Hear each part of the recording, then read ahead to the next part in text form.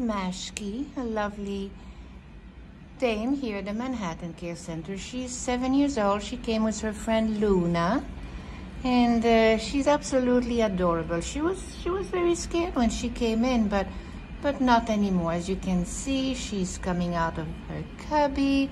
Uh, she's giving head um, to first scratches. Yeah, you're a good girl.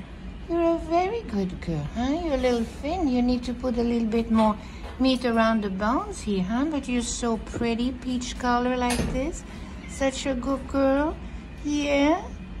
So this is Mashki, a lovely kitty here at the Manhattan Care Center. Lovely kitty who would love to have a family again. Yeah.